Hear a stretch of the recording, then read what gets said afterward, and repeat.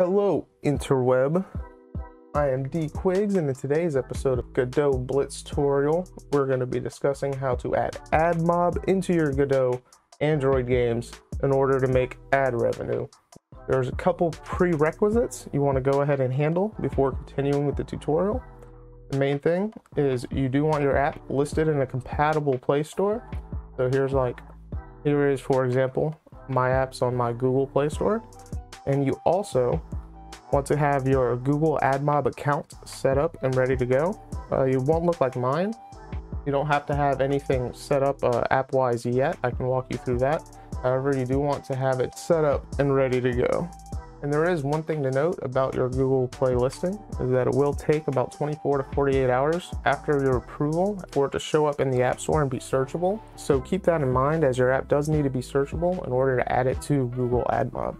So the first thing we need to do in order to get you ready on the project side of things is to go ahead and open your project file. And we want to install the Android custom build template. So you go to project, install Android build template. It's gonna ask you to confirm. Just go ahead and click install and wait for it. All right. Next, you'll want to search for or use the link in the description to access the Shin-Nil Godot Android AdMob plugin.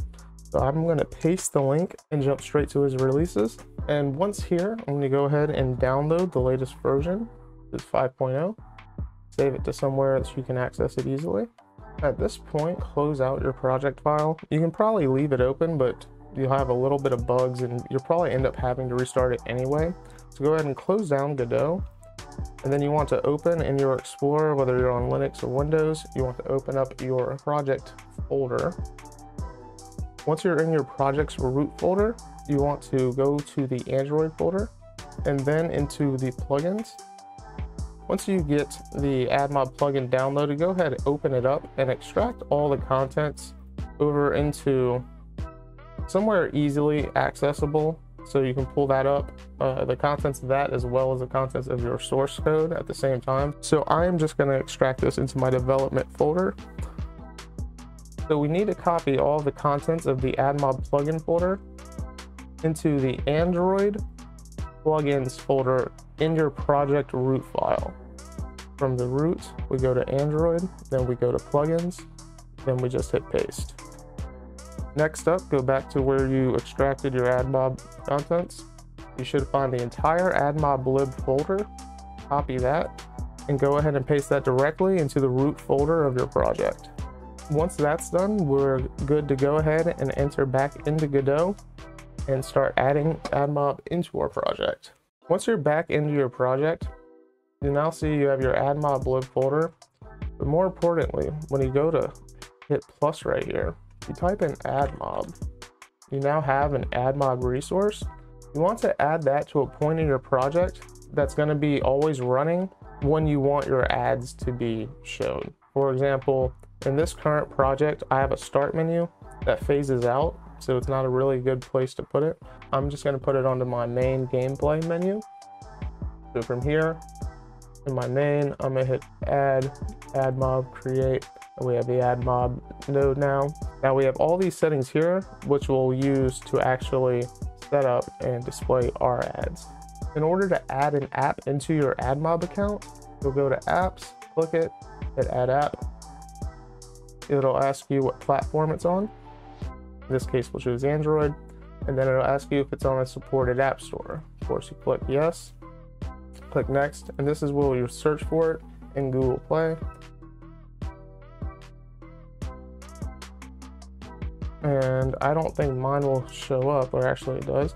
And we can see that mine is already added, but you would click yours when you find it and then hit continue. Once you have your app added, you want to click apps and then click the app that you just added. And then we need to go into ad units and click add ad unit. From here, you'll be able to create the ad that you want to add into your game. For most games, that's just going to be a banner ad. So we hit select, we give it a name, hit create ad unit, and now we have our codes. The first code is your app ID, and that needs to be put into your Android manifest XML This is going to be used only once. Once you add it once into your Android manifest, even if you add more ads to that game, such as an intersituational or rewarded, etc., you don't have to add this code ever again into your Android manifest. It's a one and done. From here, we need to copy this. We need to get this code into the Android manifest of your project file. So what's easiest to do is just to go ahead and highlight it, copy it, click Mobile Ads SDK Guide, scroll on down to this section here, and you can just click this and paste your code into that. Once that's done, all we need is this right here. So highlight that and hit copy. Then pull up your Android manifest from your project root folder. So we'll go to your project root folder and Android, then build, and then Android manifest. Then you want to edit that. You can just scroll all the way on down right above slash application and you can paste that in.